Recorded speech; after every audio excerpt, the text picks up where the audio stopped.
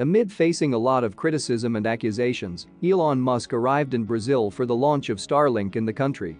The founder of SpaceX took to his Twitter to express his excitement about working with the Brazilian government.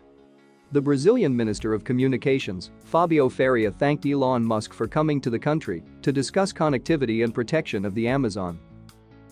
Meanwhile, at Starbase, SpaceX has already begun fitting Raptor 2 engines into Booster 7 inside Mega Bay. Methane deliveries have also been seen at the launch site ahead of upcoming static fire tests. After a delay of one year, ULA and Boeing launched Starliner's Orbital Test Flight 2 mission to the ISS yesterday.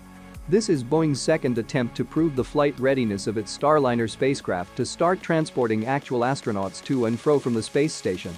Now the spacecraft is on its way to the ISS on a 23-hour journey before docking at the space station.